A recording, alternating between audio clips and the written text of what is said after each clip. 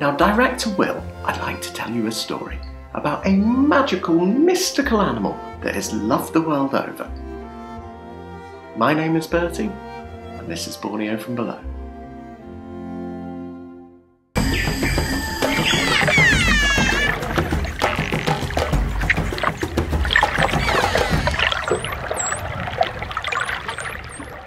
What do you get if you cross the head of a horse with the snout of an aardvark, eyes of a chameleon, pouch of a kangaroo, and tail of a monkey?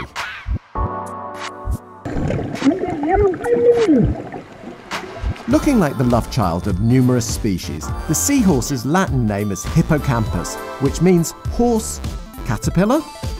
Oddly enough, one of the only creatures a seahorse doesn't look like. Seahorses are often found eating. In fact, they can chomp up to 3,000 pieces of food a day, as they don't possess a stomach. It's pretty much in and out, so a seahorse must constantly eat to stay alive. Where's my dinner? Seahorses have the ability to move each eye independently. Not only do they look unique, but seahorses are the only creatures on Earth to have a reverse pregnancy, in which the male gives birth to the young. Once the female passes her eggs to him, he will then fertilise them in his pouch before giving birth to up to 1,500 young at a time. Pretty neat, huh?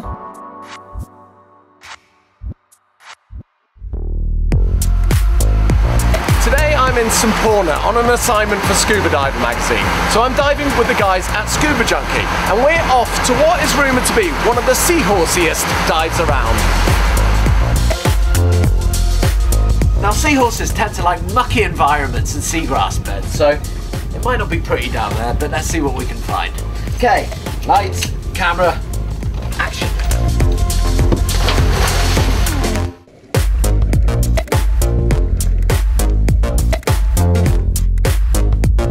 Finding seahorses here is like going on one big treasure hunt. They can often be found lurking in nooks and crannies and are perfectly disguised against mucky backgrounds. However, once I spotted one, I got my eye in and it became seahorse soup. Getting eye contact with these bashful beauties can be difficult, so as a photographer, patience is required. Once the seahorse gets used to your presence, the photographic results can be great. Keep flash at a minimum as this can harm or even kill these delicate souls. Due to their dinky size, compact camera users be sure to set your camera to macro mode. For bigger setups, a separate macro lens is a must, along with a diopter for super close-up shots. Oh, what a fascinating dive site. Might not exactly be sparkly coral reefs, but there's still so much going on down there. And most of all, a couple of different species of seahorses. And now I think it's time to go back and have a shower.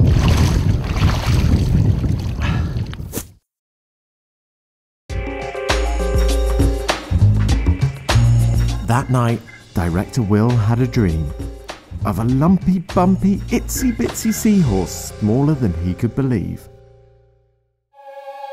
The following morning, we went searching for this mythical miniature. I've come to Bohey Dulang. It's an island just north of Semporna, and I'm on the hunt for the teeny tiny pygmy seahorse. Now, these guys are so small, I've enlisted the help of a magnifying glass to help me find it. Finding an animal that's just a few millimeters long can be seriously challenging, which is why I have eagle-eyed Nas with me today. Because if anyone can find these guys, Nas can. So Nas, what are we looking for? Um, they hang out in uh, Seapen. Okay. Yeah, And are there many down here? so many. So many. Yeah, so many. So we've got good chances of finding them, and hopefully we can spot one of these guys because they are one of my favourite marine animals.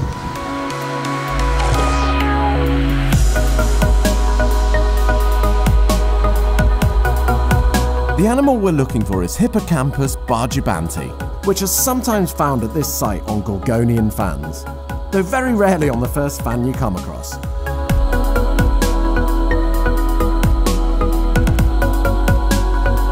Borneo from Below's usual animal hunt often goes search, don't find, and then eventually uncover just in the nick of time. However, this time we had Nas with us.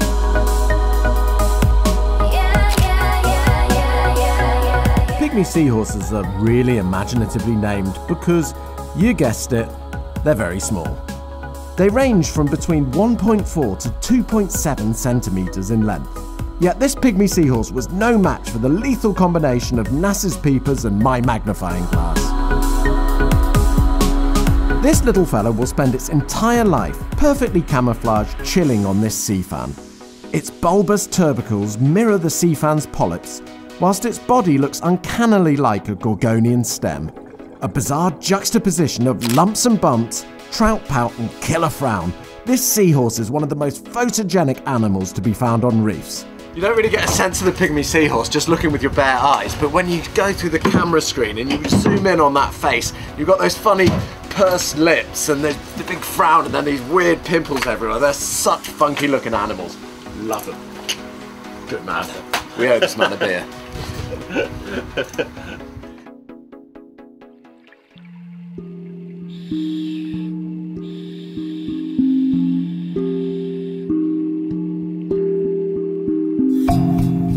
I think it's fair to say that seahorses are some of the most intriguing and charismatic creatures found in our oceans.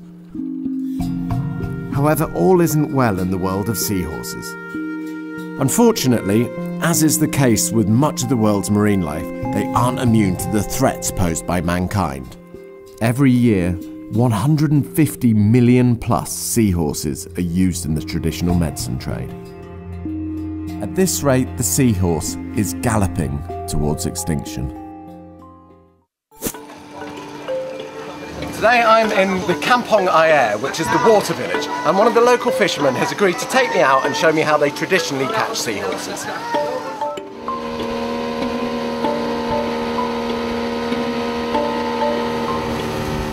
So we've rocked up to our first destination and this is exactly the sort of environment that seahorses like. It's quite shallow, it's quite mucky, so we'll jump in and see if we can find any.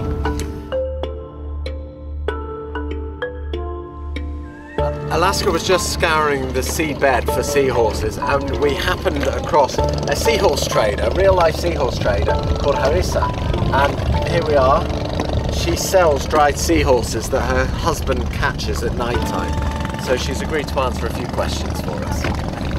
mau tiga empat biji begitu rapatnya. Kalau banyak dia dapat sampai 10 saja. Aku tidak tahu sejak itu aku menjual sejak di pekan jual beli, beli sama saya. Aku tidak apa-apa tahu apakah bikin apa-apa orang. Whilst we might adore seahorses, in an area where it's difficult to make a living, people are simply doing what they have to in order to survive. After yet more failure at another regularly visited collection site, the fishermen headed to their final location of the day, a shallow reef close to our morning departure point. The sites that we've been to today are the ones where the fishermen traditionally caught seahorses and we've been looking around for a long time and have found absolutely nothing.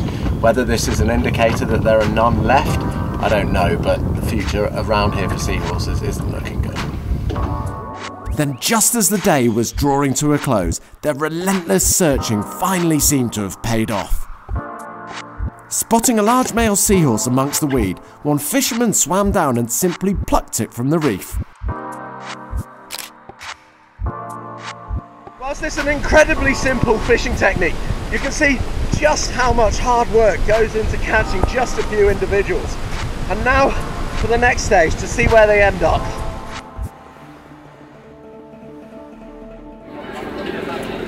I'm here outside a typical Asian market. Now these places sell literally thousands of products that come from the ocean.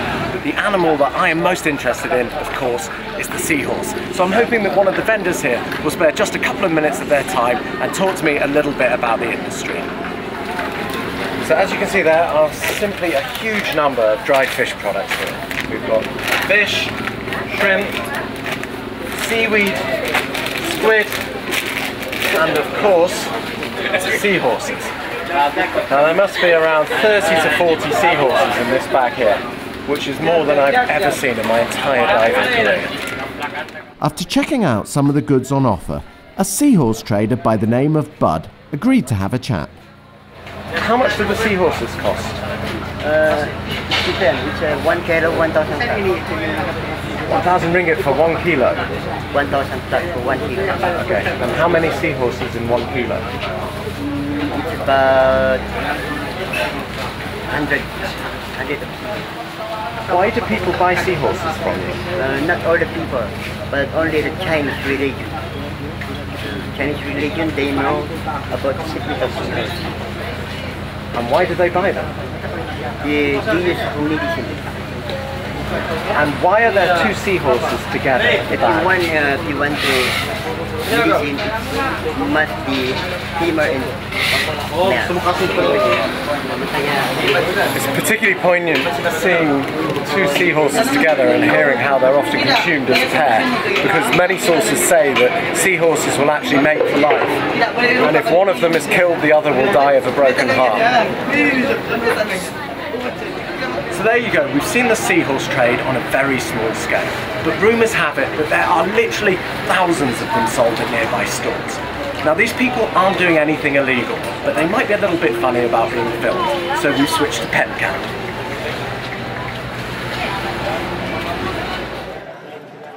Inside the shop were bags upon bags of dried seahorses, which the trader seemed more than happy to talk to me about. We're looking for unduk unduk, Unduk-unduk. unduk unduk seahorses. Wow. It's a lot of seahorses. So how do you do it? Just a, s- uh, eat- eat them? No. What do you do? You steam it in the with a slow cooker and then you bring it. Steam it Ah, steam. and then drink it. Yes. And then it makes you strong. Yes. Where do you get them from? You take a fish, uh, you fish, and then you can get a seahorse. So in a big net? Ah, yeah. Okay. That. And do people go looking for the seahorse or they catch other fish and then they Uh, find seahorses? anything on the net. Anything. Yeah. And then the seahorses get caught? Yes. Yeah. And then they Now it's particularly sad witnessing so many thousands of dead seahorses, and that's especially as divers seldom get to see them. This is because A, they're incredibly rare, and B, because they're clearly being decimated in huge numbers out here.